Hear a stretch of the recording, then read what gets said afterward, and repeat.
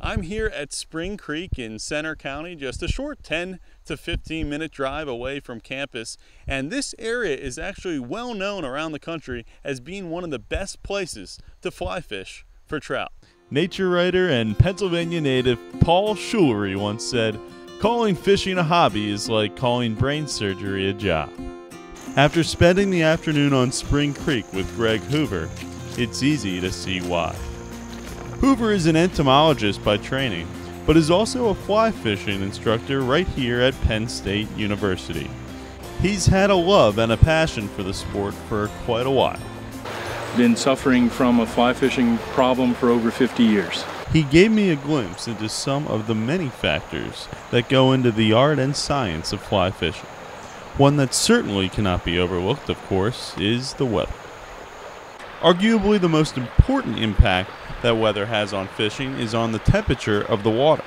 They're active, um, you know, when we get temperatures in the high 40s. I mean, their metas- metabolism is slow, but ideally, probably between 55 and 65 degrees Fahrenheit would be the ideal thermal conditions. Because trout need a certain amount of dissolved oxygen in the water to survive, once temperatures get above this range, it can be dangerous to the fish. If you're battling a fish, even caught on a fly when the temperatures are approaching 70 degrees, you literally could play that fish to exhaustion and cause death. It also affects the bugs that the trout feast on. Insects are influenced by their external environment.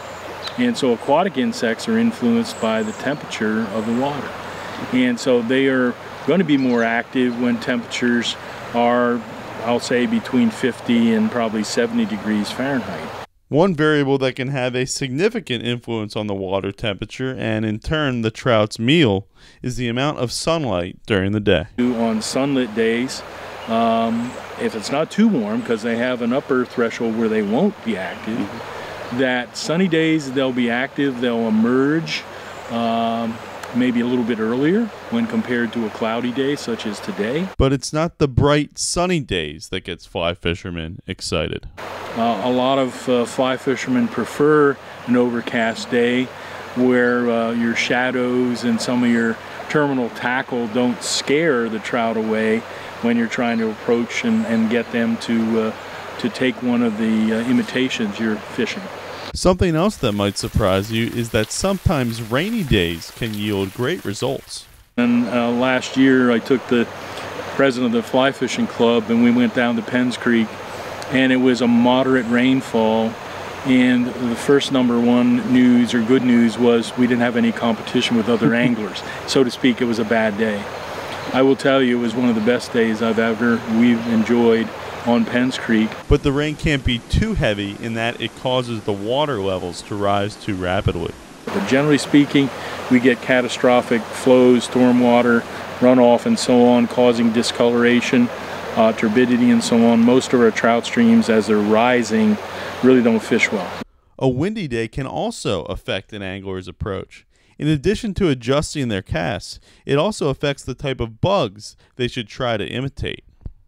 I, I call a windy day, uh, you know, a terrestrial day, or uh, the morning after a thunderstorm event overnight. Those things get washed off of the vegetation along the edge, and literally trout love eating ants and eating caterpillars. But as with most things in life, you can't point to just any one of these factors. It's how they all work together. I don't think we can, in fly fishing for trout, point to one variable. It's a okay. multitude of variables. But one thing you can point to is the fly fishermen's respect for the ecosystem that they fish in. And I think what I appreciate about fly fishing and fly fishermen, they're not just after numbers, uh, they know what it takes to maintain high water quality because if we've got high water quality and it's cold water, we know trout are going to be living there. Well, there you have it. Weather has such a big impact on fly fishing and going for that perfect trout. I figure, hey, while I'm here, I might as well go for that perfect trout as well. I got a fishing pole and well, let's throw a cast in. For whether or not, I'm Brian Sis.